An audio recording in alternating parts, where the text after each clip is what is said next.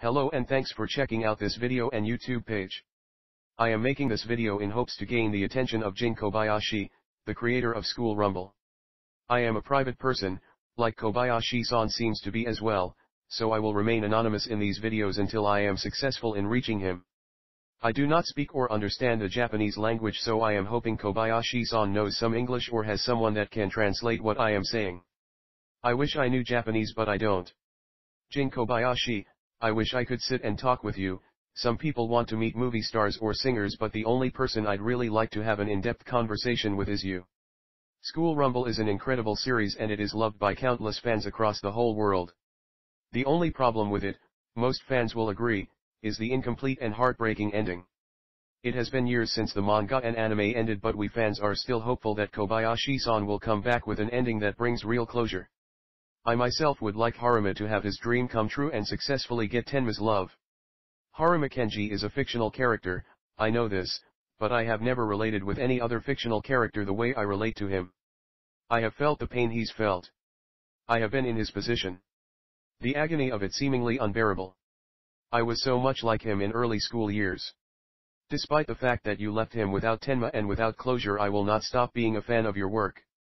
Some have been left very bitter towards you because of how School Rumble ended. I don't know why you ended the story that way. The rumors are that Harima is based off of your own life and your wife is supposedly a blonde half-Japanese woman. Like Eri Sawachika who Harima seemingly ended up with. I believe that was in Max's imagination though. I hope it was. It was unclear. I can understand if that's the case and you drew inspiration from your own life story. But Harima is his own person and so many people relate to him and want him to be happy after all the heartache he went through. He changed his whole life for Tenma. This is a fictional character in a fictional world I understand that. But we know how situations like Harima and Tenma's story end up all too often in the real world. This manga and anime, these fictional stories are an escape for many people from harsh reality. We want Harima to win the girl he loves. We want his legacy to be fulfilled.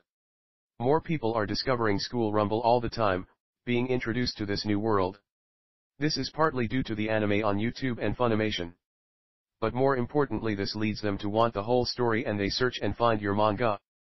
These characters are still touching people's lives and while you may feel School Rumble is just a chapter of your life that's over now, the world of School Rumble and the people in it and their impact is not going away.